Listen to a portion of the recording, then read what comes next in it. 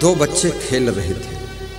छोटी सी कथा। है खेलते खेलते गाँव से दूर बगीचे में चले गए।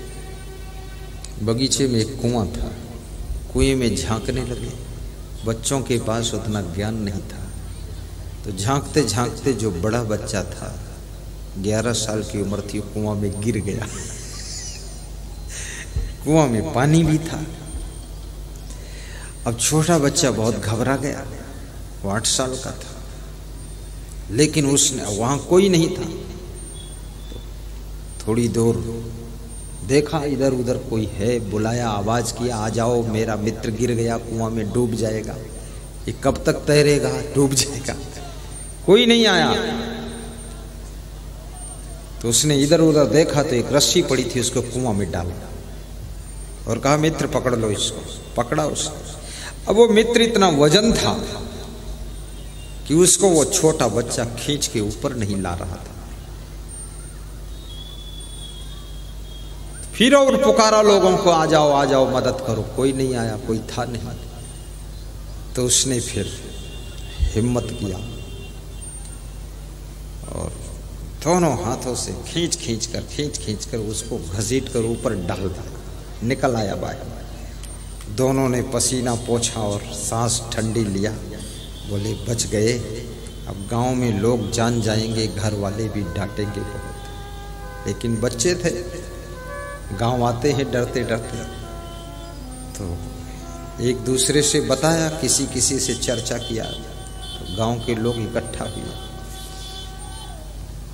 बोले, आश्चर्य होता, इतना बड़ा लड़का ये गिर गया कुआँ में, और ये छोटा लड़का इनको खींचा कैसे?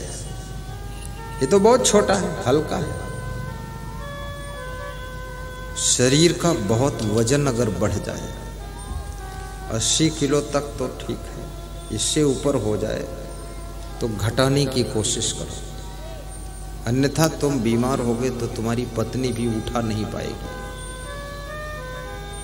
क्योंकि ये पति थोड़े है, अब तो ये पहाड़ है, उठेगा नहीं। पत्नियों को भी चाहिए कि सत्तर किलो से ऊपर मत जाओ। फिर ज़्यादा ओवरलोड हो जाओगे तो ये पति नहीं उठा पाएगा।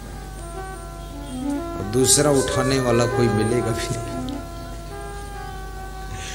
गुजरात में एक सज्जन कह रहे थे, मेरा बेटा तो तीस किलो का वज़न है, बहुत कमज़ोर मैं बीमार हो जाऊँगा, ये मुझे कैसे उठा पाएगा? ये खुद ही नहीं उठ पाता। ये कमज़ोर है, मैं बहुत भारी हूँ। वज़न की चिंता करो। तो गाँव का एक बुज़ुर्ग आदमी था, उससे लोगों ने पूछा कि बात समझ में नहीं आ रही, ये छोटा बच्चा इतने बड़े बच्चे को कुएँ से खींचकर बाहर कैसे निकाला?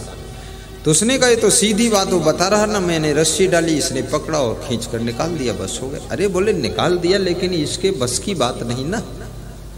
बोले, ऐसे निकाला।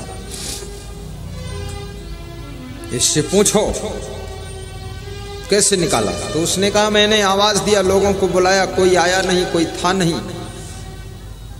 तो मैंने अपनी हिम्मत और ताकत से, मनोबल से खींच के निकाला। तो बुज़ुर्ग ने कहा कि उस समय कोई ऐसा व्यक्ति भी नहीं था जो इस छोटे बच्चे से कहता कि तू छोटा है, इसको नहीं निकाल पाएगा। अगर नेगेटिव बात करने वाला कोई होता तो ये नहीं निकाल पाता। कोई नेगेटिव बात नहीं किया तो इसने निकाल कर बाहर कर दिया। आपके घर में कितने लोग नेगेटिव बात करते हैं? अरे, तुम कुछ नहीं कर पाओगे। क्या बात है? पॉजिटिव बात करो।